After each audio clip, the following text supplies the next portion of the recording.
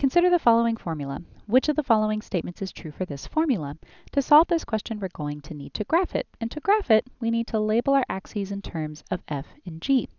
Normally, our x-axis is our cause, while our y-axis is our effect. So if we look at our answer choices to see which variable is affecting the other, it seems to be f. f is the cause that affects our variable g. If f is positive, then g is this. If f is negative, then g is this.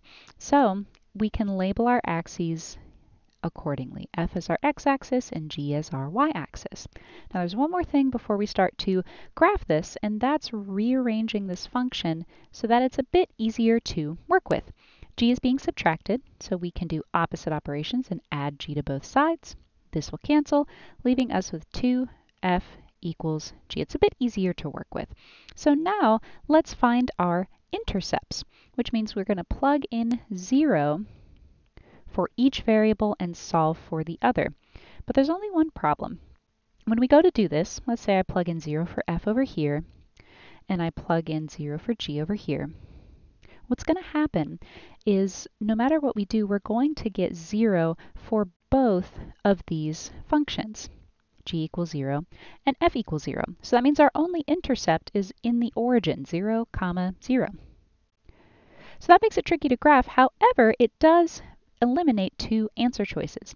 Answer choice A says f is always greater than g, which is incorrect because here there's one instance where they are both exactly the same.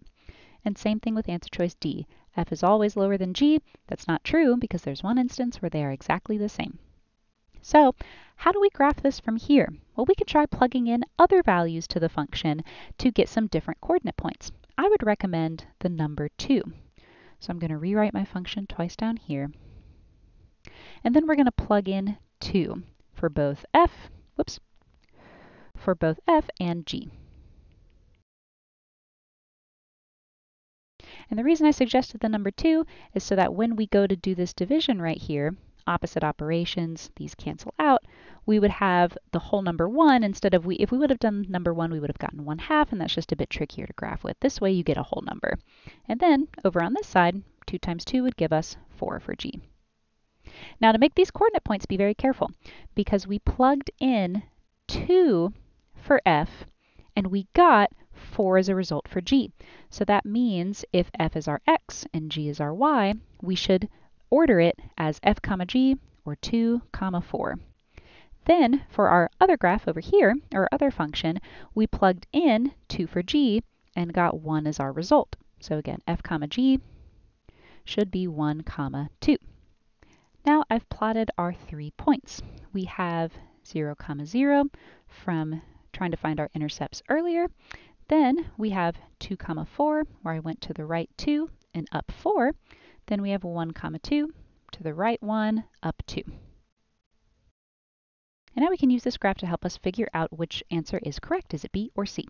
B says if f is positive, g is negative. Well, let's take a look at the quadrants where we have values from this graph. We have values in quadrant 1 where both f and g are positive, and we have values in quadrant 3 where the opposite is true f and g are both negative. We do not have any values present in the two quadrants where they can have opposite signs, right? In quadrant 2, we have negative f, but a positive g, and in quadrant 4, we would have positive f and negative g. But there are no values there, so B is incorrect. And by process of elimination, that leaves answer choice C. If f is positive, g is positive too. And that's a true statement because we have values in quadrant 1, where f and g are both positive all the time. So C is our correct answer.